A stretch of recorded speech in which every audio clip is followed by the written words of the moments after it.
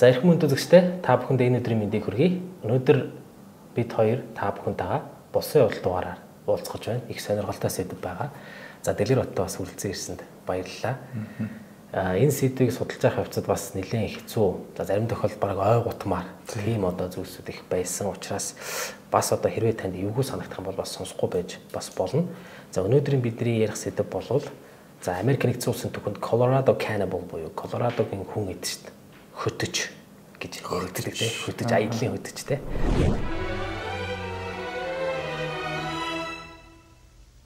энэ хүний тухай ярихаар байгаа. За юуны өмнө бид нар бас оюуныг дэмжигч байгууллага supply chain-тэй хамтарч ажиллах болсондоо бас дата байгаагаа энэ дэшрэмт дуулгая. Өнөөдрийн дугаар ерхэд өнөөдөр хоёр хэрэг ярина. Тэгэхдээ гол хэрэг маань бол энэ Colorado Cannibal буюу Колорадогийн хүн идэв шүү дээ. Альфред Пекер. За яг нэр нь бол Альфред. Альфред. Альфред Пекер тий. А гэхдээ манай хүн чинь нөгөө бичиг үсэг мэдгүй. Тэгээд нөгөө айрам далб хаах гээд очихдоо бол Альфред гэдгээ ягаад ч юм Альфред гээд хэлчихсэн. Эсвэл нэг бичиг цаасан дээр бичээд ингээд үс үзсээр хоёр үсгэл солилцож байгаа юм л да.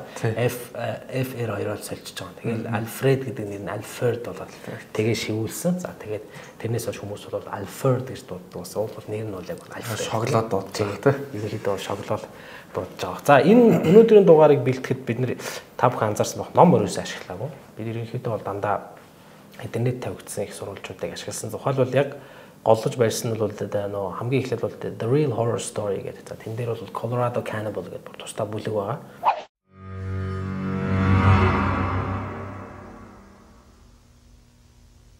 За мөн одоо энэ талаар хийгдсэн подкаст болох нь John Bolton-ы хийсэн Never Ignore the Native Wisdom буюу одоо уугуул иргэдийн зөвлөгөө за мөн одоо тэдгээрийн одоо алсын харааг одоо хизээч битгий үл тоо битгий басамжил гэсэн утгатай маш сонирхолтой 27 орчим минутын подкаст байсан. A man named John Randolph was hiking through a remote forest in Colorado. За мөн одоо scary and interesting гэдэг одоо нэвтрүүлгээр бас одоо horrifying ordeal of the Colorado Mountains буюу Колорадогийн уст болсон аимшигтай хэрэгүүд явдлууд гэсэн юм утгатай. За ерөнхийдөө энэ гурыг бол одоо түшигтлэн өнөөдрийн нэвтрүүлэг болсон. За энэ дугаарыг ярихаас өмнө ерөнхийдөө cannibalism тий одоо амьд үлдэхийн тулд өөрийнхөө төрлийг эдхийг л ерөөхдөө каннибализм гэж яриад байгаа шүү дээ тийм ээ. За энд каннибализмтай холбоотой хит хит одоо хэрэгүүдийг бол манай Free podcast-ын зүгээс та бүхэндээ хүргэж байсан. За тухайлбал Ландын нурмд ослцсон онгоцны ослын хэрэг бол зам муу одоо дэлхийн 2 дугаар дайны үед бас одоо Япон зэргүүд ялангуяа олзлогдөгчдөөрөө хооллох. За мөн одоо бас бус тийм одоо далаад төрсөн хүмүүс бас нэг нэгнийгээ шодож одоо шодож суглагдсан нэгнээ одоо алж идэх ийм тохиолдлуудыг бол өнөөдөр ярьж байна. Гэхдээ энэ каннибализмын тухай ихтэй жоохон ярих хэрэгтэй баг. Ер нь хүн төрөлхтний түүхэнд нилийн гараадах шиг байна тийм үү? Аа хүн төрөлхтөн хээс илүү бас нөгөө амьд байгалийн хувьч гэсэн. Одоо яг өөрийн төрлөө хийдэг амьд айгу маш их олон байдаг шүү дээ. Жишээл нөгөө Komodo dragon, одоо Komodo-гийн луу гэдэг юм уу. За тэгээд яг энэ дээр гэх юм бол нөгөө бас одоо нөгөө түүхэнд байсан зүйлүүд төр нөгөө кинонууд хийсэн зөндөөс нөгөө Russia Amurчин нөгөө шууд тэнгисд явж хаад ямар ч одоо усан цөлд очиод идэх хоолгүй болоод би би нэрээ ингэдэг. Гэхдээ тэр бол нөө ерөөсө хүсээгүй үйлдэлүүд яваад байгаа шүү дээ. За дээрэс нь бас нөө бидний нөө дэлхийн 2 дугаар дайны нэг тэгж юм олон түгээгүй тийм сэдвөх юм бол Сталинградын одоо одоо бүсэлт гэж байдаг шүү дээ. Тэр блокадд байсан хүмүүс бас хэрхэн каннибализм хийсэн юм бэ? Ленинград шүү дээ. А Ленинградын бүсэлт, Ленинградын бүсэлтэнд хэрхэн тэгсэн бэ гэдэг бас тийм баримтууд байдаг. Яг нь тухайн үед зөвлөлт холбоотулсан үед бүгдийн л намд байгаа юм л та иймэрхүү юмуд бол байдаг. Тэгэхдээ нөө одоогийн ярих чаас дээр яг үнэхээр яах аргагүй болоод каннибализм хүн нээдэх байдал гарсан уу эсвэл өөрийн дураар тэгсэн үү гэд бас энэ бас нэг их нэг юм маргаантай асуудал байгаа. Тэгэд яг таны хэлсэнчлэн нөгөө энэ нөө түүхийг ингээд сториг судлаад уншиж яхад бол яг яах аргагүй юм чихүүлсэрч би нөө өөрөө шөн ус уншсан болооч тэр нэг юм нэг юм амар сонин тийм байдал үүссэн. Дээрээс нь энэ үйл явдал маань 19 дэх зуунд явж исэн. Тэгээд гэрэл зураг гэдэг ах юм байхгүй. За бас нэг юм баттай их сурвалж баримтууд гэдэг ах юм байхгүй. Ер нь хүмүүсийн үгээр гээд явж байгаа учраас бас нэлийн маргаантай тийм сэдв юм болов уу гэж бас бодсон. Тий, одоо энэ ер нь өөрийнхөө төрлийг идэх каннибализм гэж ярьж байгаа шүү дээ. Зарим нь бол аргагүй ихэнд. Одоо сонголт хүн учраас тэгдэг болов зарим нь бол сонголтоор. За тийм ард түмнүүд байна л да. Тухайлбал дэлхийн 2 дугаар дайнд Япончууд бол дайсныхаа одоо илгийг бөөрийг нь идэх нь бол өөрчлөж өөрт нь одоо тухайн хүнийхээ ирч хүчийг өгдөг гэдэг ийм юу одоо зүйл байдаг баг. За бидний ярих байгаа хэрэг бол Колорадо мужид болсон. Эрхэм үзэгчтэй Air Hub 976 сургалтын төвөөс одоо зохион байгуулж байгаа агаарын үйлчлэгч ажилтныг бэлтгэх сургалт одоо 2 сарын сургалт байгаа тийм ээ. Энэ 2 сарын сургалт маань эх 7 хоногийн 3 дахь өдөр буюу 2024 оны 5 дугаар сарын 1-ээс эхлэн зохион байгуулалт гар боллоо. За тус сургалт маань нийт 16 төрлийн 93 цагийн хичээл орох бөгөөд одоо сургалтанд хамрагдсан нийт төгсөгчдөө бид нар ажлын байранд зуучлана.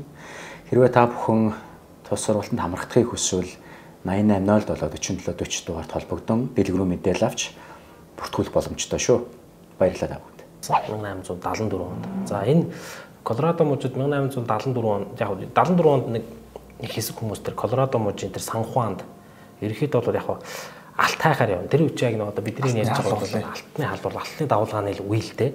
За тэгэхээр хамгийн сонь нь бол яг тэр өдөр ингэсэн байна. Аа яг тэр Лос Пиньос гэдэг газар хэсэг хүмүүс ингээд өглөөнийхөө цайг уужсан бол тэн дотроос нөлөөлөх хүмүүс байсан. Одоо генерал грант гэдэг юм те ингээд нөлөөлөх хүмүүс байхад парк л үүд саваал нэг нөхөр ороод ирсэн гэж тэр нөхрийг ингээ харахад бол нилээн тийм хувц мовц нь муудсан хөлөө бол гутлаа гутлан өсөөгүй хөлөө ингээд альчуураар ерөөхдөө дааваар орооч гсэн нэг гартаа кофений тийм сав барьцсан нөгөө гартаа буу ингээд янз бүрийн юм зэвсгэлцэн тэгээ сахал нь нилээн орцсон тийм оржсэн баг. За тэгээд харахад бол ингээд тэр хүн тэгээ орж ирээд ингээд туслаарай гэсэн баг. Тэгээ ороод хоол идэг. Тэгээ ингээд хоол өгөхөд бол ум humгүй ийц. Яг л өсвөлэн чон шиг хоол идэг. Тэр хитрхи урд идэдсэн учраас тэсгүй бөөлдсөн баг. Тэгээд хүмүүсээс суучлт байгаа би ингээ идэрхийг өссөн байсан учраас ийм болчлаа намайг уучлаарай гэдэг. Тэгээд виски байна уу гэсэн байна. Тэр хүн. Тэнгууд нь виски жуугууд нь манай хүн вискинээс нь 2 3 татан готлаа суугаад. Тэг яг тэндээс хүмүүс ерөөхдөө ойлгож байгаа юм л да. За одоо энэ хүн жоохон тайвширлаа гэдгийг хараад тэгээ за юу болов?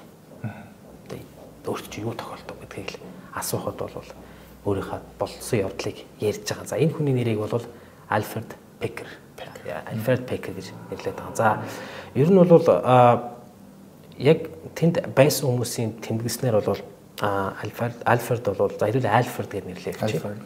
Аа нь энэ талаар нэг ярихад өөрт нэг тийм таагүй байгааг нь бол анзаарсан баг. Энэ талаар ер нь их ярмааргүй. За тэгтээ бол ярьж байгаа. За хэсэг хүмүүсийн алтаар хамтаар бол алтны эрэлт гарсан. За тэгээ маш их ядарсан, төөрсөн, өлсөн учраас одоо а маш хүнд байсан талаараа за мөн одоо хэсэг нөхдүүд нь өөрийг нь хаяад явсан талаар бас ярьсан байна. За тэр хүмүүст бол өөрөө бол тийм газарчин хөтөж хийж исэн. За тэгээд мөн одоо тийм одоо анх тийш тохиролцоод явсан. Тэгээ өөрийнх нь бол тэр газарчин байсан, хөтөж байсан. За мөн одоо ан хийхин чадварууд нь бол ер нь өөрийг нь аварсан гэсэн утгатай зүйл яриад а тэгээд амьд үлдэхийн тулд бол ер нь туулаа гинжсэн за жимс ногоо янз бүр урмал түүж идэх маягаар бол амьдэрчсэн за мөн одоо тэр гал асааж чадаад байсан нь бол өөрийг нь бас амьд авч үлдчих чадсан гэж үзээд байгаа. За тэгээд ингэж тэрсэн яг түүхээ бол ингэж эхэлсэн. Альфред бол 1873 оны 11 дугаар сарын 20-нд за энэ намар орой ер нь өвөлд өгч юм те. Колорадо бол эртээ суур амьсгалтай.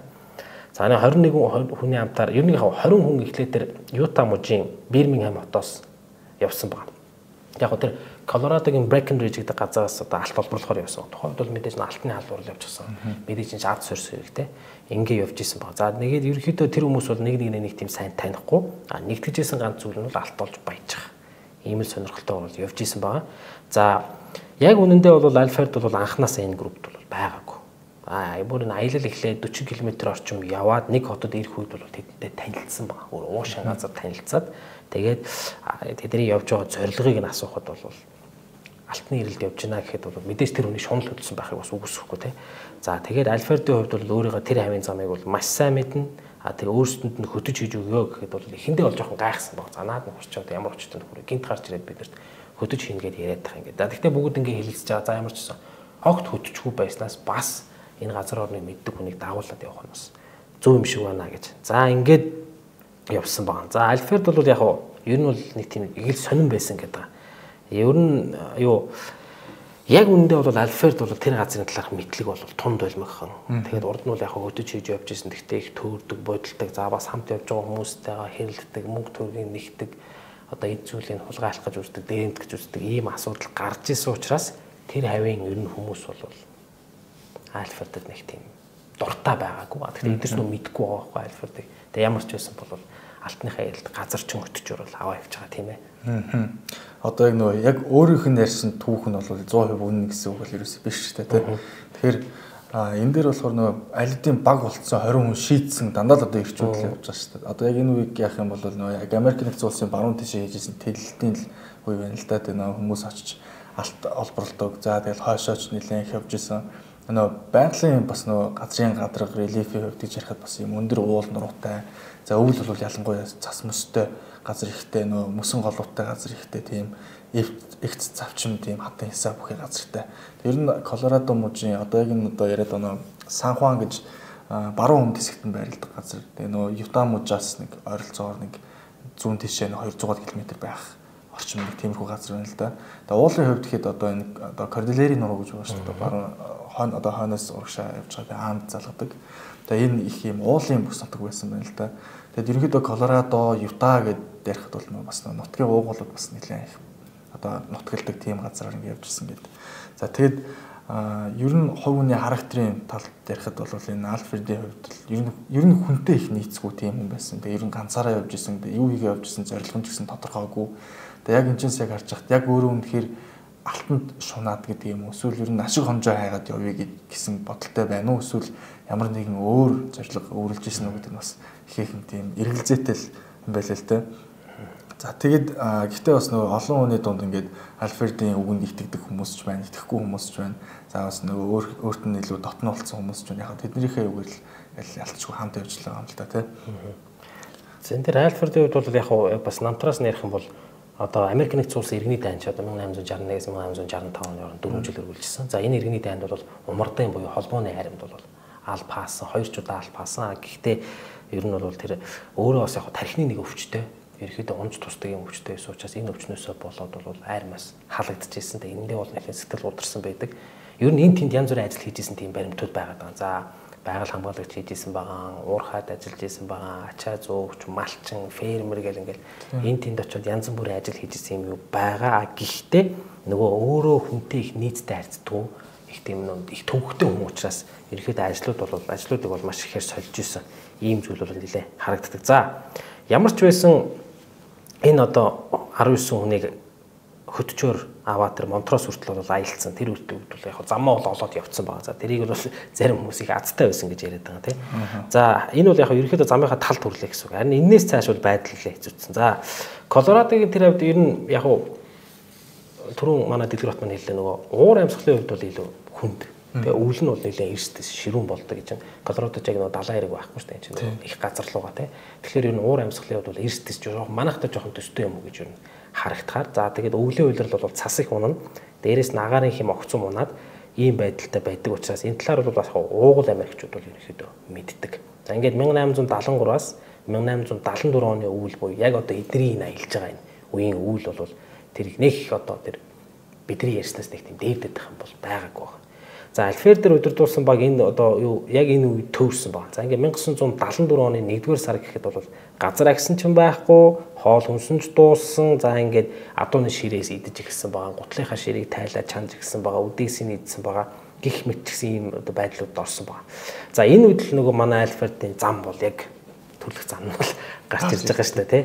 За маш шуналтай гэж байгаа. Үргэлж хин нэгэнтэй маргалддаг, хэрэлддэг, бас их дээрэн дээрээс нэг залхуу гэж байгаа. Ерөөсөө хөдөлж өгдөг тий. Залхуу. За бас тэгээд тийм өөрийнх нь хэлээд байгаа шиг тийм сайн хөдөж биш байсан гэж одоо тэр хамт явсан хүмүүснээс яриад байгаа. За мэдээж хэрэг зарим хүний бодож байгаас нь мэдээж нөгөө хөдөлггүй байснаас бол хамаагүй дээр. Гэтэ энэ чинь 1874 оны 1-р сарын 21-нд бол ер нь төөрсөөр байгаа тэр орон нутгийн тэр ютчууд гэж ярьд юм да одоо одоо Юта гэдэг чинь Юта Ютчуудын тэр индианчуудын нутагт очсон. Тэнд байх тэр үрэг их өвгөн одоо чиф гэдэг юм л одоо ахлах юм уу. Тэн дээр очсон. За тэгээд яг энэ үеийг бол бид нар нөгөө индианчууд болон тийм Америкийн уугуул иргэд болон Америкт чинээр одоо ирсэн европчуудын хоорондын харилцаа нэлээ одоо ерөнхийдөө нэг тийм аюу муу гэсэн нэг тийм дүр зургал байдаг бол энэ тохиолдолд бол өөрөө бол эднийг одоо бас хүлээж аваад хооллоод хувцлаад ингээд явсан баг. За Энэ үед яг аа хүмүүс бол яг юудчууд бол яг туслаад дараа нь ингэсэн байна. За ингээд нэг хэсэг эндээс хаатаа. Тэ одоо цагаагаар бол хэцүү гэж орон нутгийн улсад мэдж байгаа шүү дээ. Цагаагаар бол хэцүү учраас нэг хэсэг та нарын дээр саад. А тэгээд дулаасны дараа чинь 4 сарын үеэс ирээд байгаа. Дулаасны дараа бол ингээд аялаа үргэлжлүүр үргэлжлүүлж болноо. Тэгээд өөрийн бол хэлэхдээ маш тодорхой нэг зүйлийг хэлж байгаа шүү дээ. Ямар ч одоо уугуул иргэн энэгээр бол явахгүй. Ийм цаг агаарт бол явахгүй гэсэн баг. За яг нэг зүйл энд тодорхой байгаа юм л да. Энэ үе чинь алтны хал бол Тэгэхээр мэдээж эднэр бол алт хайж байгаа цорын ганц усуд бол эднэр биш. Тий. Тэгэхээр эднэр яг цаг хожоо цаг ингээд нөхцөөгөө тэндээ ингээд дулаан удирлыг хүлээгээд байгаад байж болно. А гэхдээ магадгүй тэдний авах байсан алтыг ч юм уу тэдний олох байсан алтыг өөр хэн нэгэн олчих юм биш үстэй гэдэг юм одоо бодол хүн болгоныхын толгойд л орж эхэлсэн юм шиг байна тийм үү. Одоо энэ хүний амь нас бүр хамаагүй болж шүү дээ. Ерөөсөө л нөө шуналтай хөтлөгдөд Тэгээ нөгөө Америкийн нэгдсэн улсын түүхэн дээр яг энэ алтны халуурал гэж юм бүтэн үе байгаа шүү дээ. Яг энийг ерөөсөө л харуулдаг юм л та. Аа тэр эд баялаг руу очно алтны судал олно гэдэг бол ер нь бол тэр хүн эдлэн газартай болон цаашлаад өөрийн гэсэн фермэнэж гэдэг юм амьдралын баталгаатай болчихно. А гэхдээ тийшээ явж байгаа хүмүүс өөрсдөө ямар хүмүүс вэ гэдэг нь аюул чухал байгаа байхгүй. Одоо яг одоо Альфред чиг төрлийн юу гэдэг одоо боловсрал нэмгэнч гэдэг юм уу. Одоо альва нэм докторгүй амьдралтай иймэрхүү хүмүүс дандаа явж байгаа. Тэгээд энд бол байнгын одоо хулгай зэлгээ дээрэн бол гарч исэн гэдэг Америк бас нэг юм хар түүхүүдийн нэг байгаа шүү дээ. Тэгээд яг ялангуяа одоо хүн хүний харилцаа дээр бол маш олон зөрчлүүд бол гарч исэн бие биенийг алах, дээрэмдэх хүн амны эргүүд бол энэ тэмдгүү гарч илаа. За тэрэн дээр бол бас нутгийн угууллуудтай зөрчилж исэн явдлууд гэдэг. Тэн дээр бас нөгөө экологийн хувьд гэж ярихад ялангуяа энэ баруун тишээ Калифорниа тийшээ гэж ярихад нөгөө зөвхөн уулд уурхаа гаргахын тулд асар их тэслэгч бөмбөг ашигладаг. Тэрнээс нь болоод бүр газар хөдлөлт болж исэн тохиолдлууд хүртэл аюу олон байна. Тэгээ дээрэс нь нөгөө голын ерөөс нөгөө урсцыг өөрчилдөг ч гэдэг юм. Нөгөө алтаа нөгөө юу гэдгийг те шигшиж гаргахын тулд усны их адгийг бохирдуулах гэдэг явдал маш их гарч исэн гэдэг. А энэ талаар бол яг одоо ч гэсэн Америк нэгдсэн улсын экологт бас болчонгүй тэр үйлдэлүүд нөлөөлсөөр байгаа гэдэг. За энэ дээр бол түрүү нөгөө нутгийн уугуулуудын тэр wisdom буюу тэдний заавар зөвлөгөөг ерөөсө даахгүй байгаа явдал бол ерөөсө энэ халуурал гэж ерөөсө нэрлэхээс аргагүй болгож байна л да. Тэгэд энэ бас ингээд нэг юм сонирхолтой зүйл нь хэр яг энэ Колорадогийн ялангуяа энэ Сан Хуаны одоо энэ одоо нуруун ойролцоо явнаа. Ялангуяа ийм цаг агаартай үед явнаа гэдэг бол эрсдэлтэй. Тэгээд энэ хүмүүс ерөөсө 11 дуусар сарын 20-нд буюу ер нь л дүн өвлийн хүүтнээр гарцсан. За тэгээд 1 дуусар сарын 21-нд юудчүүдтэй уулзна гэдэг чинь бас өвөл дуусаагүй. Да гэхдээ нөгөө 4-р сар хүртэл хүлээ гэж хэлж байгаа шүү дээ. Тэгэхээр тэдний хувьд нөгөө ерөөсөө ямар ч утгагүй болж байна л да. Энд байгаад байх уу, цаашлаад явах юм бол өөр хүмүүс бас олон олон багууд явж байгаа гэдэг тэр хэлж байна. За тэгээд энд бол бас энэ баг юм хит хитэн одоо өөр групп жижигэн одоо юу групп болоод ингээд цаашаа явж байгаа шүү дээ. А энэ дээр болохоор айгу сонирхолтой зүйл харагдаж байгаа юм бол бас бүгдээрээ одоо энэ альфредд бол багийнхан бол дуртай байсангүй. А түүний хажуугаар бас Альфред дотн бас хүмүүс байсан гэдэг нь хэлжсэн. Энд бол ялангуяа нөө Израиль Суан гэдэг хүн байсан байгаа. Тэгээд тэр хүн бол бас бусдаа нөлөөлсөн болов уу гэж бодод байгаа юм л да. Тэгээд тэд нар ингээд хоорондоо нийлээд за үндсэндээ бол а өөрийн зөвлөгөөг бол дахгүйгээр шууд явахаар бол ингээд шийдээд аялал цаашаа өргөжлөж байгаа гэдэг. За туулах хэвээр зам нь ойролцоогоор энэ хэмжүүрийн хувьд 400 миль буюу одоо километрээр бол 640 км хагас мянган км-с илүү маш хол зам. Тэгээд эдгээр чинь унаа өсгөтэй явж байгаа. Гэтэ мал адгуус одоо ачаа чингэлэг юу гэлээ бас явахад маш удаа явна. Тэгээд дээрээс нь өвөл болж байгаа. Халтаргаа ихтэй ч гэдэг юм уу.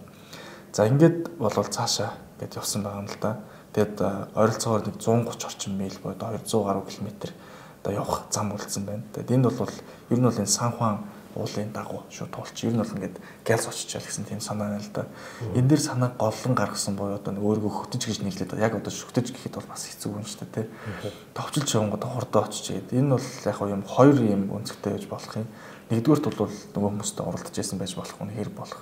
А хоёрдугаар гэх юм бол ер нь одоо овгийн ахлагч чиф одоо өөрийн хэлдгээр ийшээ бол явхад маш юм хэцүү бартаа ихтэй зам байгаа Энийг нь бол Альфред бол маш сайн ойлгож ирсэн мэдээж тэнэг хүн бол биш л байгаа шүү дээ. Тэнд ямар нэгэн зүйл болоо цасанд боогддог ч гэдэг юм уу. Энэ үед одоо ёстой яг өөрийнхөө бодож исэн юм аа. Одоо хүргэжлүүлнэ гэж бодож исэн ч гэж магадгүй гэж бодож байна л да. Тэгээ энэ дээр яг уу энэ Израиль болон Альфредийн харилцаа хоорондын харилцаа их анхаарал татчих юм л да. За Альфред бол тухайн үед 30 настай байсан байгаа тийм. Ер нь яг ингээд нэг алдаж оноод үзсэн. Тэгээд Израиль Своны хувьд бол 60 настай. Бараг хоёр дахь ах ба шүү дээ. Насыг нь хоёр нугуулахаар. Тэгээд яг Израилийн хувьд юу анзаардаг гэхээр Альфред бол нэг тийм одоо айгуу тийм нэг өөрийнхоороо тэгээд нэг томоо жоогүй хүүхэд гэж харагдахаар тэгээд нэг юм жоохон ингээд алдаж эндээд үзсэн ингээд бас нэг өстөө өрөвдсөн л байгаа юм л гэхдээ энэ хүмүүс ингээд хичээгээд байна гэдгийг бол Израиль харсан. За яг энэ яриа бол нэг галын өмнө болсон юм аа.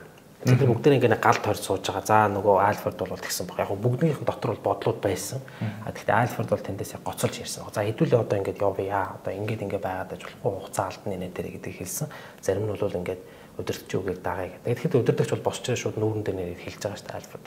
Цаашаа битээр цаашаа чи ярих юм бол чиний хэлснээр явах юм бол танаа нөхдүүд надад найз нөхдүүд чи хинж үлдэхгүй гэж те гэж хэлсэн байдаг. За ингээд хоорондоо хэлцсэний эцэст ямар ч байсан юу яасан байдаг шүү дээ. Аа Альфред бол ер нь явъя гэсэн санал дээр Израиль Свонтай хамт дөрөв явах. За ер нь бид нар чамайг дагаад явъя. Азаа үзье гэсэн ба. За тэгэн гууд нь өөрөө бол нэг зүйлийг ойлгосон ба. За эднэртэй бол яаж ярилцаад би бол эдийг одоо ойлгуулж чадахгүй юм байна. Тийм учраас одоо миний хийж чадах юм бол замыг чинь зааж өгье гэсэн баг. За тэгээд тэр алдарт санхуаны уулуур ингээд яг нэг 14 хоногийн аялал төлөвлөсөн байгаа тэд нар. Одоо морьтой ингээд өсгөтэй. Тэгээд яг хамаг ачаа бараагаа тооцоод 14 хоног идэх хоол хүнсээ тооцоод ингээд морин дээр тавиад явж байгаа. За тэр үед бол өөрөө юу зааж өгсөн гэхээр энэ аа тэр Лос Пиньосоор дамжиж цаашаа яваад тэгээд уула битээ шууд халдц даваарай. Харин а яг ингээ голоод байгаа байх бол явсаар байгаа тэр Лос Пиньос гэдэг нэртэй индианчуудын суурьнд хүрээд тэндээсээ хүчээс илбээд тэгээд цаашаа явах юм боломжтой гэж хэлээд за тэгээд уул давж явна гэж бол санахын хэрэггүй голоо дагаж яваараа яг тэр нь жоохон тойруу зам юм шиг байна. Тэрийг яг ингээ нөгөө газар дээр өөрөө ингээ зураад үзүүлж байгаа юм л да. За тэгсэн байгаа. За харин харин Альфред бол мэдээж шууд тэр замаар нь. За ингээ нөгөө амын дагуулаар заа гэсэн байгаа. За тэгээд тэр замаар нь бол явахгүй шууд уулаа хал завьж даваад ингээд явах бол бид нар цаг хожно хурдан явна гэж үзээд за тэгээд би бол тэр замыг мэднэ гэж зүтгэсэн байна. За тэгээд хүмүүс нь хоорондоо маргалдаа наа чи мэдх юм ингээд ингэж маргалдаад баг ерөнхийдөө дахин хоёр багтчих. Нэг хэсэг нь бол өөрийг нь зааж өгсөн тэр замаар явсан гэж байгаа. Одоо нэг хэсэг хүмүүс наа. Нөгөө хэсэг хүмүүс нь бол Альфред тэргүүтээ Израиль Свон тэргүүтээ таван хүн бол Альфредыг дагаад уулыг давхаар ингээд хөдөлсөн байна. За Альфредыг дагаагүй явсан тэр гурван хүн бол одоо маш хүнд байдалд ороод явсан за хоол хүнсэн дууссан. Гэхдээ тэр юун дээр бол кобочуудтай замдаа таарад улмаар бол тэд нар аварсан байгаа. Тэгээд азаар л таарсан да. 1874 оны 4-р сар хүртэл бол ер нь яасан байгаа. За ингээд 4-р сар ихэд бол мэдээж яг нэг өөрийн хэлснээр бол цагаагаар нь дулаарсан.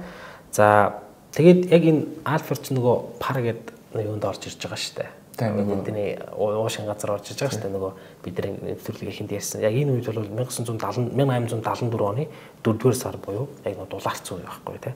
За тэгтээ Альфред ганцаараа ирсэн. Бусд нь яасан бэ? Тэ? Тэдэнд хоол гэдэг ахаар зүйл үлдээгүй, шүдэн центр байгаагүй. За ер нь бол тун хүнд ийм байдалтай байгаа юм л да. За баримтаас нь ингээд үзэхээр а за Альфредийн ярьж байгаагаар л үзэж байгаа юм л да. Голоо дагаждаг хэсэг явсан баг. Тэнгууд уулууд өсөд тавьчихсан. Тэгээд морь явж чадахгүй тийм хэсэгт очсон байгаа. За тэндээс хойш хин одоо хэн нэгэн бол тэдний талаар сонсоогүй. Ингээд 14 хоногийн аял төлөвлөсөн. За энэ аяллыг ерөнхийдөө төлөвлөж исэн боловч ер нь бол 14 хоногийн дараа брик кредиттэй очоогүй. За тухайн үед бол цагаагаар шуургатай онцгой муудсан. Дээрээс нь нэг одоо 70 см орчим зузаан цас орсон гэж байгаа. Энэ бол одоо асар их цас л та.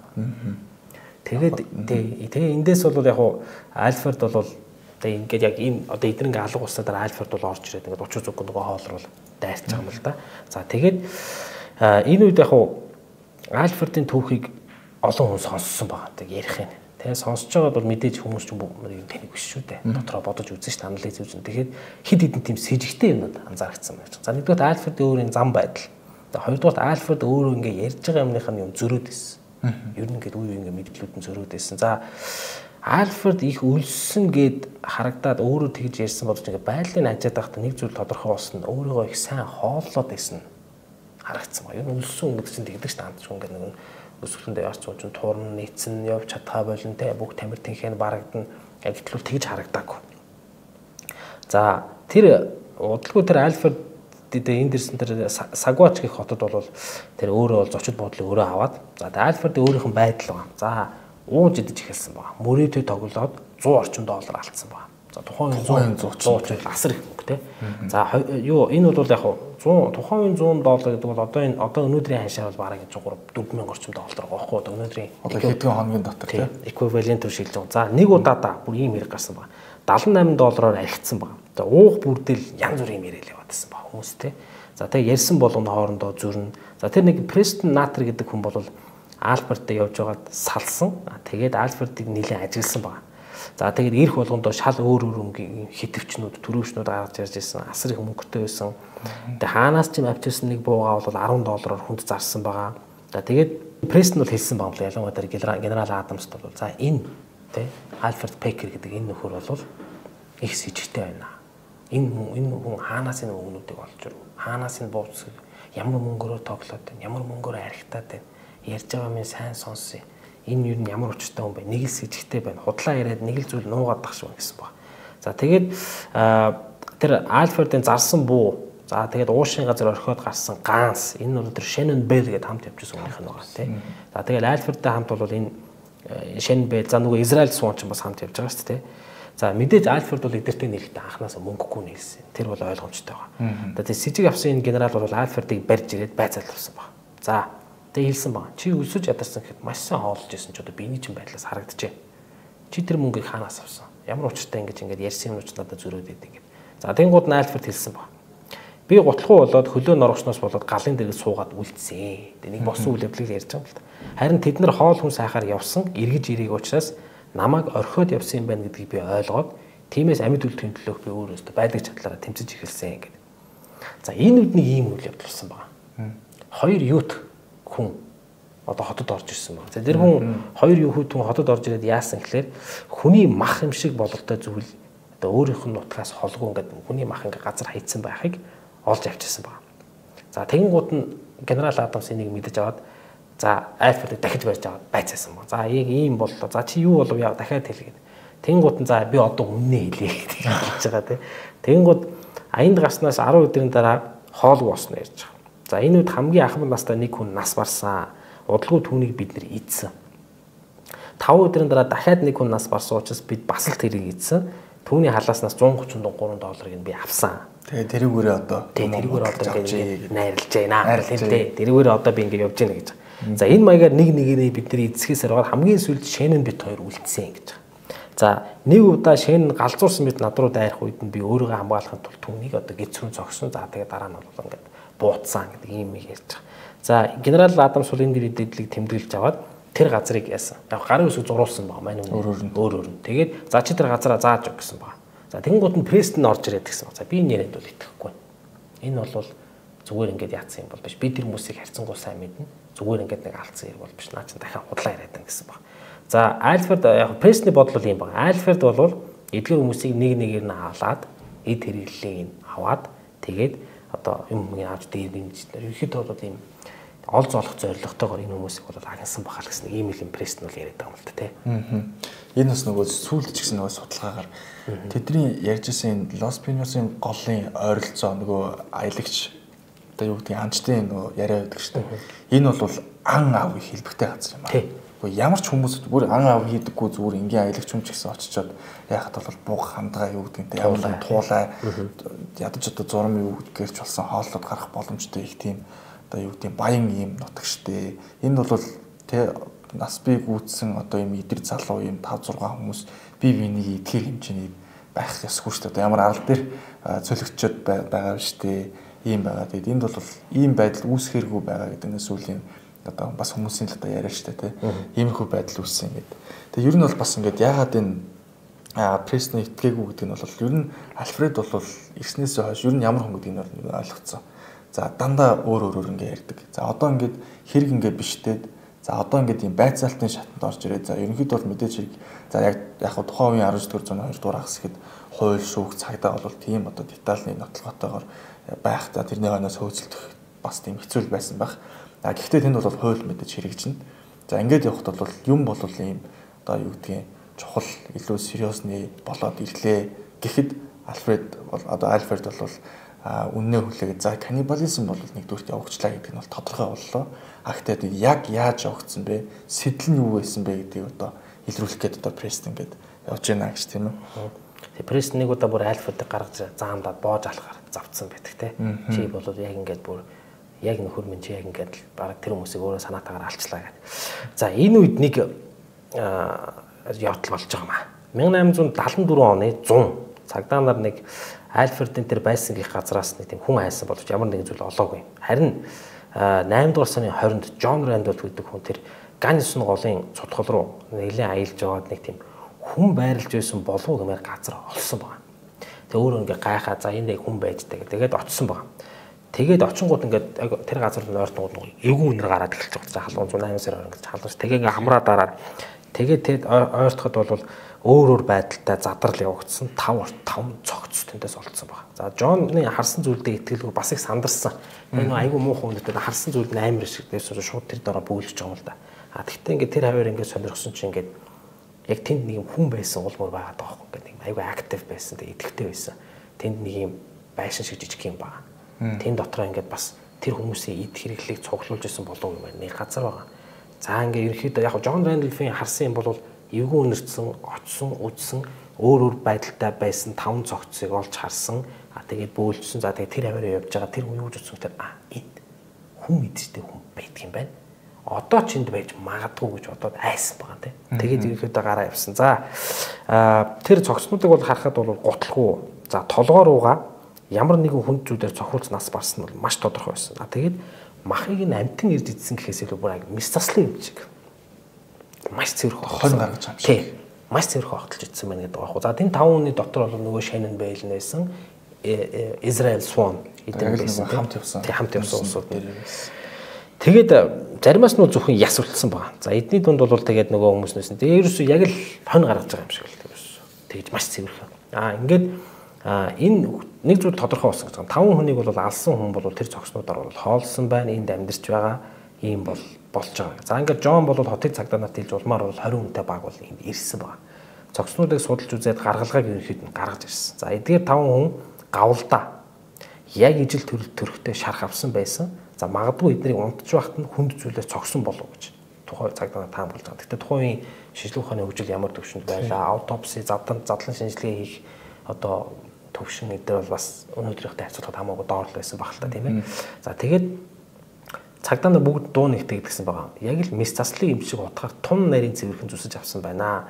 Мөн эдгэр хүмүүсийг алсныхаа дараа эд хэрэглэгийг цуглуулж байсан тийм газар бас байна. А тэгээд яг эдгэр хүмүүс нь бүгд гутлахгүй болцсон. Тэр нь бол яг нь өлсөндөө бүгдээр гутлаа идсэн байсан юм шиг байна. А тэгээ энэ бүхнийг бол Альфред хийсэн нь маш тодорхой. А тэгээ түүний ялыг хөндрүүлэх гэж байсан боловч ерөөхдөө тэгээ энэ үед ингэсэн байна. Яг нэг Альфред чинь шоронд хорцсон байна. Тэр үед жин явдал болж байгаа байхгүй нөгөө Джон чин Джон Рэндолф чинь нээж байгаа. Тэнгууд Альфред бол шоронгоос орхосон байна. Гэхдээ би бол тэрийг уншаад юу гэж ойлгосон гэхээр оргосон гэхээс илүү хин нэгэн тэр нэг оргуулсан юм шиг байна. Тий. Аа тэгээд Альфред бол яагаад тэгэхээр э, тэр э, яагаад тэрийг шрифэн тэгж байгаа түлхүүр тэрнлүү хин нэгэн шидэж өгсөн байна. Цонхоор. Одоо түлхүүрийн тэгээд тэр гарсан байна гэдэг. Тэгээ Альфред оргоцож байгаа. Тэгээд Альфредуудад нэг тийм чанар байна гэж аюу тийм одоо англиар нь persuasive гэдэг юм да. Одоо ятхан синхруулах синхруулах тийм чадвартай. Одоо нэг өстө манайхаар бол одоо панаалтай гэх юм одоо тийм одоо хүн байсан юм шиг. За ингээд юу яасан баг. Альфред орхосон. За ингээд тэргээр хайгаад олоог. Тэгээ энэ дэр бол яг 9 жилийн турш ер нь Альфредыг хайгаад зарим ч бараг өгсөн байх гэж бодоод ингэсэн боловч тэр 1874 онд Альфредтай хамт явж исэн тэр өдөртөгч үүрийг нь дэргэд үлдсэн тэр нэг хүн байдаг байхгүй. Тэр хүн бол 1883 оны 3 дугаар сарын 11-нд тэр Wyoming мужид дэлгүүр ажиллаж байхдаа Альфредтай маш адилхан орж ирэхийг харсан байна. За өөрийгөө тэр хүн бол өөрийгөө Джон Шварц гэж танилцуулсан. За тэгээ нөгөө хоёр тэр Альфред тэр хоёр хүн бол шууд хараад нөгөөдгийг таньж байгаа юм л да. Гэдгийг танингуудаа шууд цагдаа нарт хэлээд баримтлуулсан байна. За Альфредыг Денверт барьж аваад за нөгөө генералууд нь одоо ирээд нөгөө хүмүүс бас ирээд за Джон Сварц биш харин 9 жилийн өмнө өөрт нь байцаагдаж байгаад оргосон Альфред болохыг нь баталж барьж байгаа шоронд хийсэн баг. За асуултууд асуусан. За юу болсон энэ удаад яасан ийсэн гэ. За Альфред бас л нэг өөр түүхэн дээр ирж. Яг нөгөө асуултаа асуухад хариулт нь шалаа өөр өөр тийм. Гэхдээ одоо энэ ярьсан түүх нь бол өхөн хөлтөл нь өөрчлөгдөв үл дээ. Одоо энэ дамны сүлдтэй нэг түүх ярих гэж байна те. За түүний яриаг энэ одоо ингээд орчуулад хүргэх юм бол ингэсэн байна. Тэр үүрийн удирдагчийн хүрнээс гарч уул өөд явсан 7 хоногийн хүнстэй гарсан гэж. Удалгүй замд нь шуурга болсон. За тэгээд хоол хүнсээ барсан, бас төөрсөн.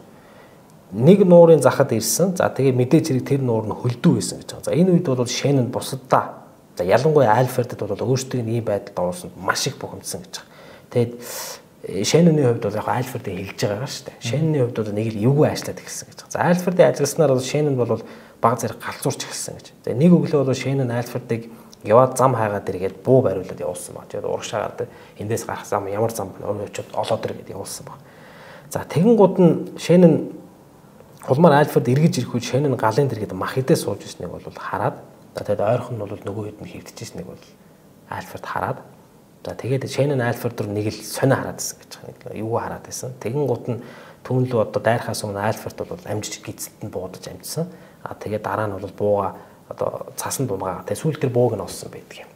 Тэгээд револьвер гэдэг револьвер чинь нэг дамартай буу тийм одоо иргэдэг тэр бууг нь сүүлд нь олсон байдаг. А тэгээд яг энэ үед бол юу яг гизүүн унгууд чинь ингээд унаад өгд юм байна л да. Тэгээд унаад өгөн гут нь одоо толгоор хүн дэмар цохож бол яасан. Энийг үлдэхдээ өөрөө бол өөрийгөө хамгаалах сэтэлтэйгээр хийсэн гэж байгаа. За Альфредийн ярьж байгаагаар бол Шэнэн бол тэднийг идэхийн тулд нэг нэгээр алсан. Тэгээд Альфредийг хэлж ирэхэд бол тэр тэгж чадаагүй би өрсөж алж чадсан. За тэгэхээр дараагийн шөнө бол Альфредийн амьдралын хамгийн аимшигтай хамгийн урт шөнө байсан гэж байгаа. Маш их өссөн байсан учраас Шэнэн идэж байсан махыг тогоом тийж буслахад идсэн. Ингээд ерөнхийдөө би хүний мах идэж эхэлсэн Тэр газараа бараг 2 сарын турш хүний махаар амьдэрсэн. Дөрөвдүгээр сард цасан нуранг болоход шар тоос босхийг харсан. За шар тоос босхийг хараад ойр хавилцаа хот байна гэдэг бол ерөнхийдөө таамаглаад тэгэн тэр уулыг даваад дөрөвдүгээр сар гэдэг бол ер нь цаг агаар бол харьцангуй зөөлөн дулаан болцсон, тааламжтай болцсон ийм үе. За тэгээд энэ үед бол суурин газар руу орж ирж нөгөө уушин газар өглөө дахиж орж ирдэг нь бол тийм учиртай байсан юм шиг байна. Өөрөө бол тэгж ярьж байгаа юм л да. Тэгээ энэ дээр яг л зүгээр нэг зүйл тодорхой байгаа нь юу гэхээр а таван цогц цолтохдоо бүгдээрээ гутлгүй байсан. За дээрэс нь Альфред бол өөрөө Савгач руу очиход өөрөө гутлгүй даавгаар ороосон байсан гэдэг нь. За тэд нар яалч байхгүй төөрсөн байна. Тэгтээ төөрсөн хэний буруу вэ гэхээр нөгөө ятгсан Альфредийн буруу байхгүй. Өөрөө би мэднэ чадна гэж дагуулж авчингуудаа уулз тий шууд уулын замаар явчаад тийшээ очиж ер нь бол хүмүүсийг баг өглөрөө төлөх хэмжээний тийм үйлдэл гаргасан байна. За энэ дээр нь мэдээж ингээд бүлгийн одоо хамт явж исэн багийн хүмүүс бол нэлээд уурлан тэнд угаасаа зөрчил бол бас маш аимшигтай ингээд болж байгаа юм л та. А ямар ч таж өлсөн нь бол тодорхой байна. Цааш явах чадлагүй болсон байна. А гэхдээ энд нэг юм Альфред өөрөө хийчээд Шэнэн руу гүтгсэн бүх одоо явдлыг одоо өгсөн хүн ямар юм ярина гэж байхгүй шүү дээ. Тэгээ тийм учраас энэ сэдлийг өөрөө Шэнэн гаргасан. Би яах аргагүй хүчинд автчих гэдэг юм уу? Ийм байдлаар бол ингэж тэр хүний махыг ийдсэн гэдэг А тэгтээ сүүлд бол судалгаагаар ингээд харахад бол те бүр одоо ингээд 1994 оны судалгаа гэдэг болов 2004 оны сүүл сүүлдний судалгаа судалгаагаар ингээд харахад бол тэнд гизрүүн буудсан гэж одоо Альфредийн өөрийнх нь байцаалт дээ. Энэ бол гизрүүн буудсан ямар нэгэн тийм шинж алгаа. Зөвхөн шууд толгоор ингэж мунаар цогч унаагаад тэгээд хэрэгээ өвөлдсөн байх магадaltaй гэдэг тийм юм гарч иж байна л да. Тэгэхээр Альфред бол өөрөө юм хохирогчийн дүр дүр тоглолцоод тэгээд ялнаас илүү мултрах тэр арга замаар хайжсэн болов уу гэсэн таамаглал байна л да. Тий, тэр сүүлд орчин үеийн тэр ангаа ухааны хийсэн тэр судалгаа бүр хэд хэдэн ч судалгаа байдаг юм байлаа. Тэр судалгаануудаас харж байхад бол тэр бүх гавлууд бол дандаа одоо цохуулсан. Хүн гэмээр цохуулсан. Бэртэл одоо хагарал цуурал ихтэй тийм байдалтай нэлээ олцсон. Тэгээд яг энэ дээр нөгөө Альфред бол илүү өөрийгөө арьсан хамгаалах болж игэл ялгуу гарчих. Эсвэл хөнгөн ял идээд гарчих ийм сонирхолтой байсан юм шиг байна. За энэ дээр ингэсэн байгаа. За хавар болсон. За Альфред нөгөө түүхээ ярьж байгаа а өөртөө байгаа хүний махан хүмүүсээ базааж аваад мөн тэр хүмүүсийн халаасыг ухаж хэрэгтэй гэсэн болгоныг нь аваад за ингээ бусдын адил бол яг гутлахгүй байсан. За тэгээд сагва чодроо ойртох үедээ бол авч явж исэн нөгөө хүний маха бол орхисон. Тэрийг нөгөө хоёр юут залуу болоод хотод аваад ирээд ирсэн болж таарах гэдэг. За ингээд бас нэг өөрийнх нь хүлээн зөвшөөрсөн бол 1874 онд генерал Адамсын багийнхан яг нөгөө чинь анх байцаагаад яаж байгаа штэ. Тэгэхэд нөгөө тэр газараа зааж өгөхэд нь зориуд өөр газар руу авч явсан байгаа. Тэгээд өөрөө тэрийг хүлээн зөвшөөрсөн. Яг яаж хүлээн зөвшөөрсөн гэхээр уулын буруу тал руу буюу өөрийгөө байрлаж байснаас эсрэг тал руу газарчилсан. Тэгээд энэ нь бол яг өөрийнхөө байсан газрыг олуулахын тулд би бол ийм зүйл хийсэн гэдгийг бол хөдөлж зөвшөөрсөн байдаг. За бас нэг сони юм дээр гарч ирж байгаа. Юу Альфредийг ярьж байгаа за өмнөх бас бидний судалгаанууд дээр ч бас гарч ирж байсан. Хүн ер нь өлссөн үедээ тий бүр ингээд татагтаа дулаад өлсөөл бүр ингээд аргагүй болсон үедээ ямар ааш аршинтай болж болохыг би шэнэнээс харсан гэж. Альфред бол өөрөө хэлж байгаа юм л да. Тэгээд өөрөө бас тийм болоод байгаа өөрөө анзаарсан байгаа энэ хүн. Би бас ингээд зам тэгээд яг өөрөөсөө бас жоохон айс. Ерөөдөө их тийм ууртай догшин төрмгий болоод байгаагаа бас анзаарсан байна. За тэгээд яг уу чи яагаад ер нь шоронгоос орогдсон бэ? Тийм л одоо гим зэмгүй юм бол гэхэд бол нөгөө хин алах гэж үзсэн шүү дээ. Прест алах гэж үзсэн байхгүй юу? Тэнгу тэнгу учраас прест магадгүй тэр дүн дахиад энийг хийж магадгүй гэж үзээд а тэгээд бас өөр хин нэгэн престний одоо ажлыг үүсэж намайг бас алж магадгүй гэж үзсэн учраас би шоронгоос орохсон гэдэг бол хэлж байгаа. За орохсныхоо дараа Америк нэгдсэн улсын Аркансас мужид очиж ферм дээр ажиллаж байгаад удалгүй Аризонод ирсэн байгаа. За тэгээд ер нь тэр хавцаанаас ирэхэд ингээд дэлгүүр мэлгүүр орж явж байгаа баригдсан. За Альфредийн шүүх хурал бол болсон. За энэ дээр бид нэг зүйлийг анх хэрэгтэй. Энэ Альфредийн шүүх хурал дээр Колорадо мужийн тухайн үед яг нөгөө албан ёсоор ингээд мууж гэсэн статуст арай ороогүй байсан байна. Тэгээ ерөөхдөө ингээд юм үндсэн хуультай болох гэж байгаа юм шиг болох гэж юм шиг ингээд мужийн хуультай болох гэж байгаа юм шиг. Энэ чинь 1874 онд болсон. А Колорадо муж бол 1876 онд мууж мууж болсон. Тэгэхээр хууль тэнд үйлчлэх. Хууль тэнд эв эвгүй болчиход байгаа тийм. Тэгэн гут нь хурал дээр бол бөөм арган болсон. За энэ дээр бол яг олон ч гэрч ирж мэдүүлэг өгсөн. Тэдний дунд бол яг Мальфорд өмнө ажиллаж исэн, хамтарч ажиллаж исэн, аялж исэн тийм хүмүүс байсан баг. За тэгээд тэр Ютагаас алтан нэрэл гарсан нөхдүүд ч тэр дотор гэрчүүд дотор байсан. Үлддэг. Тий. Тэгээ мэдүүлгүүд ерөнхийдөө дандаа Альфредийн эсрэг байсан. За ихэнх нь бол Альфредийг тэр хүмүүсийг мөнгөний бас эд хэрэгсэлд авахын тулд зориуд тийм байдалд оруулсан. Зориуд тэр хавц руу оруулж гарцаагүй байдалд оруулж байгаад алсан. А тэгээд Альфред бол яг өөрийнхөө энэ түүхийг бол бүхэл бүтэн 6 цагийн турш ярьсан. За тэгээд өөрөө бол тэгж яриад байгаа. Би бол шин нэг л би хамгаалганд алсан. А шин нь бол бусдыг алсан. А тэгээд амьд гарахын тулд яалтчгүй одоо би ингээ хүний махар хооллохоос арга байгаагүй гэдэг. А тэгээд шүүх бол түүнийг бол харин санаатаагаар ийм байдлыг бий болгосон хулгай, дээрэм, хүн амны хэрэгтэй гэж үзээд дүүжлэх ялуулсан байгаа тийм. Тэгээд дүүжлэх ялыг бол 1883 оны 6 дугаар сард гүйцэтгэхээр товлоод А тэгээд түүнд бол яг шүүгчнэр бол их муу хайрцсан байдаг. Ерөөхдөө яг хараал мараал яг үг айгуу хэлээд. За Альфредийн өмгөөлөгч энэ дээр нэг зүйлийг анзаарсан нөгөө Колорадо ч Можос болов уу шүү дээ. Өнцөө юу одоо хууль байхгүй байгаа. Тэгэхээр Альфредийн болсон хэрэг тэр 1876 оноос өмнө болсон учраас өмгөөлөгч гэсэн байна. Энэ шүүх хурлыг дахиж явуулах хэрэгтэй. Одоо яг Колорадогийн одоо state law гэж ярьдаг шүү дээ. Энэ хуулиндаа захирагдаад дахиад энэ шүүх хурлыг явуулах хэрэгтэй гэж үзсэн байна. За мэдээж дахиад шүүх хурал явсан. Дахиад бөө маргаанд игдсэн. За энэ дээр бол яг хүмүүсийн ярьж байгааг түрүүний чиний нөө фактуудыг хэлсэн л дээ. Ан ан хэлбэгтэй газар. Энд бол уурх тавиад ч юм уу ан хийгээд өөр ямар нэгэн байдлаар амьд үлдэх боломжтой. А гэтэл бол энэ хүнээс тийм гараагүй. Тэр ойр хавьд нь бол бүр ингээ бууга алдсан байсан гэж байгаа. Энэ Альфред өөрөө алсан юм шиг агнаж. А тэгтээ тэр буугийнхаа махыг идэг байна гэж байгаа юм. Аа. Хүний махал идэд байсан. Тэрийг нь бас олж тогтоосон байна. Тэгээ энийг ингэж байгаа юм л да. Аргаа барсан гэхээсээ илүү ухамсартайгаар хийсэн сонголт байна. Чиний хийсэн юм бол тэ. Тэгээд Альфред бол чи ийм байгаа учраас чамд одоо хамгийн хүнд ял буюу тухайн ингээд одоо хууль мөл батлагдаад ингээд мууж болчихж байгаа шүү дээ. 40 жилийн хорих ялыг чанд бид нар ногдуулж байна. Гэтэ дүүжлүүрээс бол дүүжлүүсээр бол мултарсан. Тийм. Тэгээ шоронд байхад бол Альфред бол уухгүй захиа авчихлаа л дээ. Тэгээд ч нөгөө бичиг үсгүй мөртлөө хажуудлах хүмүүс ч юм уу хилээд ингээд бичүүлээд байж. Тэгээд бичээд би өстой ингээ хийгээгүй шэнэ нэг л алсан шүүхэн шийдвэр шудраг биш байна эдэргээд ийм баах юм бичгээд энийг ягаад ч тэр Денверийн сонины сэтгүүлч Поли Прай гэдэг эмэгтэй олоод энийг нь уншаад ягаад ч түнд итгэсэн баг. Тэгээд тэр хүний нийтлүүд бас өөрөө сонины газрын редактор хүн байсан учраас тэр нийтлүүдийг гаргасан байгаа юм да. Тэр нийтлүүдэр бол ерөнхийдөө аргагүй байдалд ороод энэ хүн иймээс энэ хүнд одоо хууль шүүх арай хатуу хандчихсан эргэж наад асуудлаа нэг харах хэрэгтэй гэдэг юм шийдэд энэ нэг хэвлэлээр ингээд тэр чинь нийгэмд хаалтлангууд нийгэмд нөлөөлөөд эн чинь ингээд зүйлдээ хүмүүсийг хоёр хуваагаад Тэгээ нэг хэсэг нь бүр альфердэг одоо сулал байр гэдэг юм. Стандартын хөлгөн хүртэл нэг өрнж байгаа. Мань нөхөрч бүр тийм амир одоо шуугаа нэг одоо тэгээ суллах аян хүртэл үнсэн ба. За ингээд 1901 онд давд заалдах хэрэгтэй. Parole гэж ярьдаг шүү дээ. Давд заалдах хэрэгтэй болоод улмаар бол суллагдсан байна. За суллагдсныхаа дараа бол сонныхаа тэр сонны газрын манаач нь хийсэн байгаа. Харгалзагч хийж байгаад 1901 онд суллагдаад 1908 онд 65 настай нас барсан. Тэгээд амьдралынхаа сүүлийн жилүүд одоо ялангуяа шоронгоос суллагдсан тэр сүүлийн жилүүдэд бол цагаан алтан болсон гэж. Ярьдаг. А тэгээд 40 жилийн ялныхаа нэг 18-ыг нь бол яг биеэр идлээ. Тэгээд ерөөхдөө дав заалтаад ингээд суллагдсан байгаа. За энэ хэрэгээс үлдсэн эд мөрийн баримтууд, яс та үлдгэлүүдийг бол өнөөдөр ч гэсэн бас судалж байгаа. Авсан шархнуудаас нь харах юм бол ерөнхийдөө өөрөө байсан байх альфард бол өөрөө халдсан байх магадлал нэлээд өндөртэй. Ялангуяа тэр Шенэний бугулгын яс бол цууралттай болцсон. Энэ бас халдсан байж магадгүй тэр тулаан болсон байж магадгүй гэж үздэг. За альфард бол ер нь хүнд зүйлээ тэдрийг зохиж гимтээсэн. За ер нь орчин үеийн судалгааны хариултууд болж гисэн альфардын эсрэг дүгнэлтүүд ер нь гараад байгаа тийм ээ. А энэ дээр болохоор нөө сүлд одоо янз янзын ажлыг явж явах нөө ажлын хамт олон бас нөө дүгнсэн дүгнэлт байдаг штэ.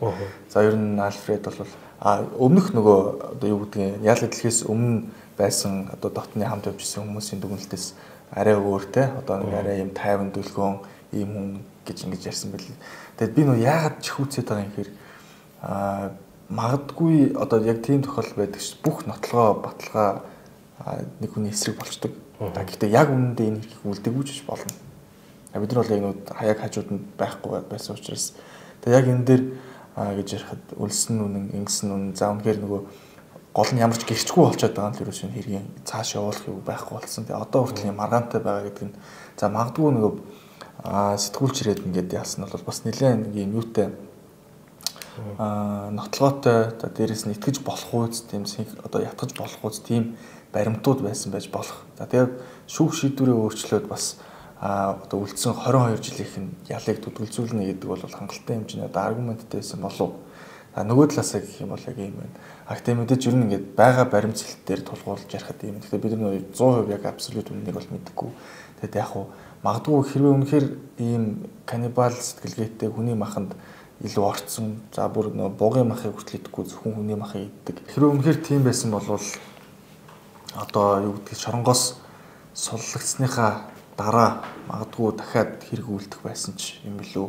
Хэрвээ үнэхээр яг тийшээ явуулах сэтлэн зөвхөн одоо хүний махаар хооллох одоо шунлын одоо алтны төлөө биш хүний махаар каннибализм хийхээр сэтсэн болвол магадгүй одоо засрахгүйгээр нэг одоо хүний махан донтжул тэр чигээрээ донтчдаг гэдэг яриа хүртэл байдаг ч тийм. Тиймэрхүү асуудал гарах байсан болов уу гэдэг нэг арай бас нэг юм өөр өнцөг байх боломжтой болов уу гэж яг бодсон л доо. Гэхдээ бас юм үнний илүү бага л та. Тэгээ энэ дээр яг тэр сүүл судалгаа хийсэн. Ялангуяа 1994 оны судалгаа байгаа.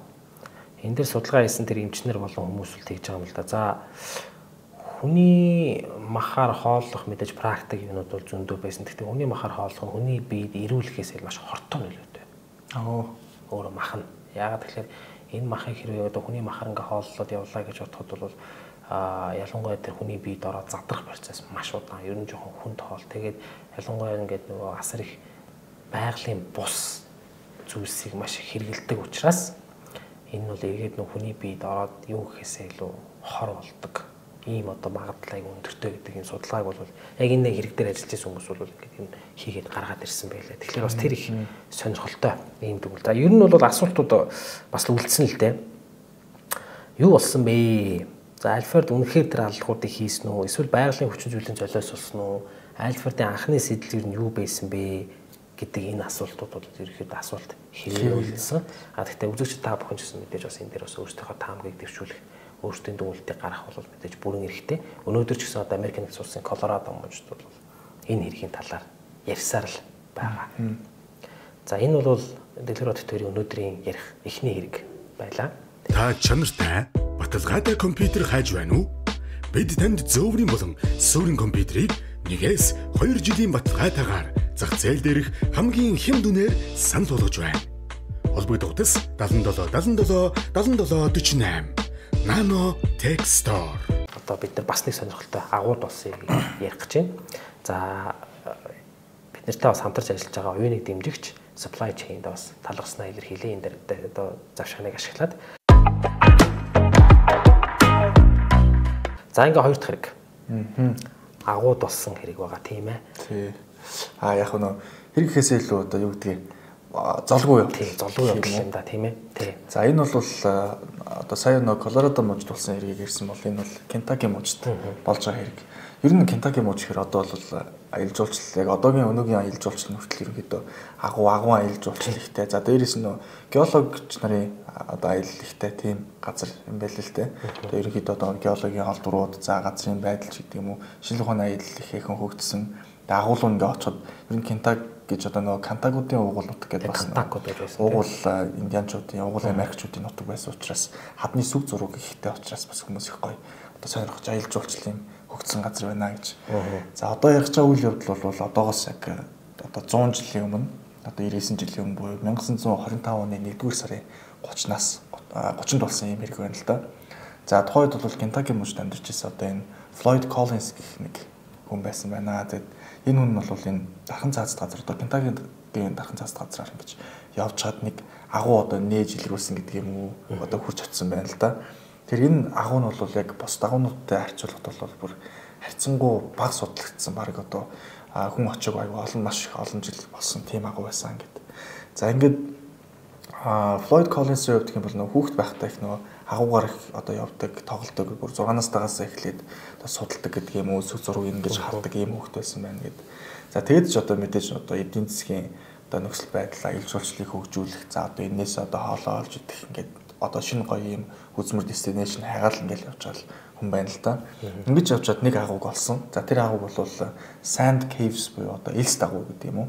Ийм агууг олсон гэж За үндсэндээ бол 7 хоног одоо энэ агавг нэлээд одоо ингээд судлаал ингээд явж байгаа юм л доктор нь ороход за ингээд явхад бол ийм зүгээр агуул ийм янз янзын ийм хэлбэртэй тогтцсон явд гэхэд бол зүгээр ингээд одоо юу гэдэг нэг дундаж өндөртэй хүн ингээд явахаар хэмжээний ийм өндөр хэсэг байхад хүртэл одоо бүр ингээд хэвтээд явхад хүртэл ийм явах боломжгүй бас хэсгүүд ийм байна гэд ингээд судлаад явж ирсэн байна. За тэр нь судалгаан дээр ингээд явж байхад бол мэдээж агуу бол ингээд үргэлжлээд байна гэж байхгүй. За нэг бол нөгөө талаар нэгж гарах хаалга байгаа. За эсвэл очиход ингээд тийм яг агууны хэсэг дээр ингээд тулах хэрэгтэй шүү дээ. Яг тэрийг ингээд хайгаал явчихсан байна л да өөрөө. За ингэж явж чад маш юм давчууд юм хэсэгт ингээд очиод юм гатсан байна л да. Тэгэхэд бол яг энэ агуун юм нуран гүсэн шүү дээ. Нуран гүсэд яг хаа азар бол хөлн дээр ингээд унсаан тэгээд ямар нэгэн юм бэртэл гэмтэл бол уучраагүй гээд тэгж бол өөрөө бол бодож исэн бизээ гэж. За тэгэд энэ агууд бол нөгөө хамгийн гол зүйл нь гэх юм бол нөгөө нутгийн уугуул индианчуудын сэлбэр зураг одоо янз бүрийн одос сүхэр зурдаг юм уу? За эсвэл өөрсдийнхөө ангийн багж хэрэгсэл, морь, индианчуудын одоо зарим одоо зүйлсүүдийг ингэж зураг үлдээсэн учраас эдийн засгийн бас нэлээд өгөөжтэй байхаа гэж утсан бахаа гэдэг. Тийм энэ дээр нөгөө өөрөө нэгдүгээр агууд сонирхолтой өөр тэгээ хоёрдугаар энэ агууг сайн судлаад гарцуудын ч юм уу ингээ мэдээд бүр ингээ яах юм бол би энэ аялалд одоо аялагч нарыг авчиж өөрөө хөтчихгээд тэгээ агуур орох замаар бас одоо адны зураг үзүүлээд ийм замаараас мөнгө олж болох юм байна гэдгийг өөрөө бодсон. Ерөөдөө тэр гэр бүлийн байдлыг харахад бол бүгд л агуудчд л байгаа юм л да тэргээр нэлээд одоо хэрж хэсдэг агуу магуу судалдаг. За тэгээ энэ хүн бол энэ агууд ороод нөгөө нэг Chinese lamp гэж яддаг шүү дээ. Одоо нөгөө дэнлүү дэнлүү тий. Дэнлүү бариад ингээд орсон. За тэгээ агуур нөгөө дэнлүүгөө барайл мөлхтөө мөлхөөл хэвтэж явахтаа яваал алхахтаа алхахад тэг яг тэр нэг зүйлийг анзаарсан байгаа нөгөө ингээд дэнлүү нэг анивчиж эхэлсэн гэж байгаа. Тэгэн гут нь заа ингээд унтрах нь шүү гэх тээ. Ерөөдөө ингээд агаар дуус ер нь бол унтрах нь байна гэдгийг ойлгоод. Тэгээд яг яг тэр нэг юм хэвтдэг хэсэг дээр очисон байгаа. Ингээд ингээд өөрөө доош ингээд бүр ингээд нэг аалцыг болж ингээд ороод тэгэхээр гэрлээ дээрээ тавьсан байсан. Толгой дээр тэгэл ингээд нэг гараа түлхэж ингээд яваал нэг толгоогоор ингээд буугаад үзчихэд за тэгээ буцаад одоо гарыг даа гэдэг Тэгээ гарахтаа нөгөө гэрлээ дээрээ ингээд тавьсан ш толгой дээр тавиад тэгээд нөгөө ийм нарийнхаа хэсэг рүү чи ингээд биеэрээ ингээд аалцыг болж байгаа ингээд явж байгаа юм л та. Тэгээд нөгөө гэрлээд нэг гараар түлхээл, нэг толгоор түшээл, нэг гараар түлхээд л яваад байж. За яг энэ үед нөгөө гэрэл нутарсан баг. Тэгээд лаан дууссан баг. За ингээд түнэр анхад үлдсэн. Ингээд маань хүн төөрөөд ингээд бол яг чиний хэлдгээр нөгөө чулуу нурж орж ирээ. Гэтэ тэр чулуу бол ингэсэн юм шүү. Унаад 12 кг орчим чулуу байсан гэж байгаа. 12 13 кг. Биш 19 кг жинтэй чулуу. Яг ингээ унаад газар уусныхаа дараа ингэж хазааж унахдаа зүүн шахан дээр нь унаад дарчиж. Тэгээ нөө чи ингээд гаццсан байгаа штэ. Тэгээ ингээд доод тэр онгорхоо хэсэгт нь хөлн явж исэн. Яг тэн дээр ингээд дарчиж. Тэгээ өөрөө авч чадахгүй ингээ юу. Тэгээд өөрөө бол тухайн үед бас бодож исэн юм шиг. Яаж миний толгой дээр унаагүй юм бэ юм бэ гэд. Тэгээ бодож бол агуун дээдлэлт бол нэг дуу гарсан. За энэ бол Флойдын төрсөн дүү одоо Homer Collins гэдэг Homer гэдэг залуу нэрсэн. За тэгээд яаж ийн ийн юу болж ийн гэдэг ингээд асууд бол би ингээд хөлн дээр яцлаа ингээд одоо зүгээр байна гэдэг. За тэгээ кол нь бол нөгөө дүүн бол өөрөө ингээд орох гэж үзээд Тэнгуутаа за би ингээд болохгүй юм шиг байна. Би ингээд багаж хэрэгсэл авчаад яа яа гэдэг. За энэ дээр ингэсэн баг. Ер нь бол айгүй хүнд нөхцөл байгаа юм л да. Төрөө харах уу, дээрээс нь хоол байхгүй, усгүй. За тэгээд мэдээж одоо чинь визаас чадахгүй. 30 цаг орчим энд байсан. Дүүний эртэл. Тий. Тэгээд дүүний эртэл бол тэгж байгаа шүү дээ. Тэгээд хоймор бол агуу үдэнд ирснийхаа дараа бол тэгсэн баг юм л да өөрийнхөө байсан тэр хоол унд ус янз бүрийн өдөө өгөөд а тэгээд багаж байгаагүй. Анх эрэхт нь бол хооморт бол багаж байгаагүй. За тэгээд багаж авчаад ирээд явсан. За ингээд хоомор явснаас хойш 30 цаг болчихж байгаа. 30 цаг Босны дараа хоомор олоод буцаж яваад 15 цагийн дараа ирж байгаа. Ингээд 45 цаг гэсэн үг тийм. 45 цаг байсан. За энэ үед бол ихний Флойдын ухаан нь орж гарч ихэлсэн болвол хоомор харин багжаа дээр багжаар бол илүү зай гарах зүтсэн байгаа болохоор нарийнх эсвэл зай гарах. Тэгээд чи айгүй эвгүй гэж. Одоо ингээд тэр чинь нөгөө бид нар шиг юм задгаа орчин биш тэр чинь хавчиг учраас багжаа айгүй эвгүй байж. Тэгээд нөгөө цохол нүдэл янз бүрийн байдлаар одоо чинь 100 орчим жилийн өмнө бид түүх ярих гэдэг чинь өнөөдөр шиг захилгаан багж гэдэг тухайд бол байгаа. Бүхэн гараа цүүцээр л үзэж байгаа шүү дээ. Цүүцээр алхтаал үзээд байгаа шүү дээ. Заримдаа ийм нарийнхан газар ингээд нэг арай ядна зай гаргаж байгаа. За ингээд ажлын орчин маш хэцүү байсан учраас хоомор бол амархаар явсан байна. За маргааш нь би олон авчирнаа гэдээ явсан байна. За ингээ энэ ядлаас хойш Флойд бараг 50 60 цаг болсон. За Флойдын ухаан санаа бол өөр өөр жинхэнэ тоглож гисэн байна. За нэг удаа өөр дээр нь тэнгэрийн хэлснэр ирж байна гэж дүүдээ ярьсан байна. Над дээр ингээ тэнгэрийн хэлснэр ирлээ гэдэг. За тэгээ ер нь бол сэтгэл санаагаар маш их унсан. За Флойд гацснаас хойш нэг 130 цагийн дараа л яг нөө хүмүүс багаар орж тэр нөө юу яаж байгаа юм л да. Тэгээд тэд чинь нөө дээр нь ингээд хамаагүй ухаад ингээд исэн чинь агуу дотор нуран гүйсэж байгаа юм л да. Тэгээд нуран гүйсэл нурангийн дараа л Флойд чив чимэг болсон. За тэнгууд нөгөөд нь ухаа. За ингээд бүхэл бүтэн 17 цаг ноцол 17 хоног тий ноцолсны эцэд буюу 2 сарын 15-нд аврагч нар Флойдд сая хүрсэн. Тэгээд нөө аврагч хамгийн түрүүний аврагч нэгээд хамаг багад юм гоохож ингэж агаад Флойдыг харангуутлаа дээш хараад энэ хүн байх болчихжээ гэдэг хэлсэн байна. За тэгээд яаж нас орсон байдалтай байсан бол гэхээр түн толгой дээр нь л ингээл нуран голонгууд л айгу том том чулуунууд унаалдаг гэл түүний айманд хүрсэн болов гэж сүлд нь үтсэн л дээ. Тэгээ одоо энэ арал энэ агуу одоо Sand Caves гэж байна. Ер нь Америк нэгдсэн улсын одоо том том агуунууд байдаг л да. Sand Caves гэж байгаа, Carlsbad Cave гэж байгаа тийм. Гэх мэтлээ энэ агуунууд бол яг юм эртний хадны зураг энэ байдлаараасаа гадна нэг нэг юм агуу доторх тэр нэг орчин байна. Одоо нэг юм сонирхолтой, аюултай, амар ийм одоо орчинд бол а ерөнхийдөө энэ байдлаар бол дотоодын болон гадаадын жууртыг татдаг. За энэ бол биднээс өмнө агуутай иргүүдийг нэлээ ярьж исэн үргэлжлэлт маань санаж байгаа бах. Өмнө бид нэр Нати Патигийн агуу гэж Джон Джонс очоод яг ингээд нэг урууга хараад гацсаар байгаад бүх цусны толгоороо юу гэдэг явандаа бол нас орсон гэд. За мөн Мостелийн агууд ус ирэг гэд яг нөгөө агууруу тэр мөлхтөг хэсгээр оцсон байхад ус орж ирж бороо ороод болмоор үерийн ус орж тэнд гацсан байсан хүмүүсээ бүгдийн живүүлсэн юм харамсалтай ярих гарсан. За мөн одоо Таиландын хөл хөнгийн wild boars гэдэг багийн одоо хүүхдүүдээс агууд ороод тэгээ араас нь ус уйлсан учраас бас гацсан юм харамсалтай хэрэг гарсан. Тэгэхээр тэд нар бол аврагдсан. Аа энэ тохиолдол бол Floyd Collins хувьд бол ингээд аврагдаагүй гэд маш харамсалтайгаар золгүй байдлаар ингээд амар алдсан ийм хэрэг гарсан байгаа. За ингээд үзэгчтэй өнөөдөр бид нэр а хоёр эргийн талаар ярьлаа. За сүүлийн иргэдээ маа дэлгэр утад бас нэмж ярих зүйл байсан уу? Тий одоо нөө ухаан санаагаа алдаж эхэлсэн гэдэг. Яг тэрэн дээр яагаад ингэж гэтээ яг цагийг бодоод үзэхээр яг хүн усуухгүй, хоол идэхгүй ер нь бол бийдэж чадахгүй гэсэн. Бийдэхгүй юм чи хүний бие айгүй муу байхгүй. Тий. Тэгээ дээрэс нь юм ийм хавчиг ийм ерөөсө хөдөлж болохгүй зайн тэр чигээрээ тэгээ дээрэс нь хав харанхуу тийм нөхцөл байна гэдэг бол мэдээж сэтгэл зүй сэтгэл санаанд их нөлөөлөх байх л та. Тэгээ энэ талаар иймэрхүү гатсан юутай холбоотой аюу тийм олон кино байдаг шүү дээ. Аа юу гэдэг Into the Wild ч юм уу хаашаач явж болохгүй болсон ч гэдэг юм уу. Тэгээд нөө цаашлаад өөр нөө бас нөө хадан тавчуулагчдаг бас нэг тийм Холливуудын кино гэдэг шүү дээ. Яг тэрнтэй яг адилхан ингээд уншиж явах тийм юу а явдлууд бас ингэ санаанд орж илээ л да. Тэгээд энэ бол зүгээр ингээд юу гэдэг а их тийм болчингүйхээсээ илүү нэг юм нээлт хийх цаашаа ер нь зорилго бол их ийм шал өөр зорилготой явж шүү дээ. Яг нь ер нь сая өмнөх хэрэг нөө Альфредийн хэрэгээс бол энэ бол шал өөр тийм хэрэг байна тэ.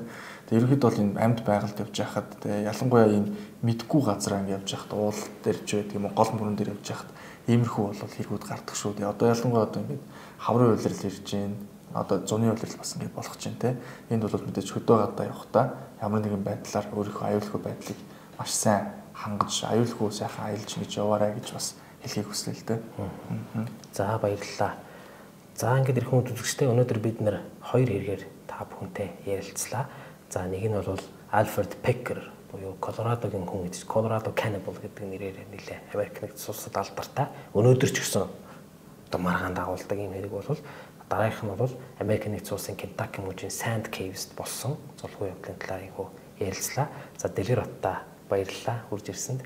За ингээд ирэх хүмүүс үзэгчтэй хэрвээ манай контентууд та бүхэн таалагддаг бол доорх гарч байгаа дансанд 1000 төгрөг хийхэд л та бид нарыг маш ихээр дэмжиж гин гэсэн үг. За мөн subscribe дарж манай сувгд нэгтгэхээ бити мартаарай. За ингээд дараагийнхаа дугаараар бүгдээрээ уулзцаая. Дээд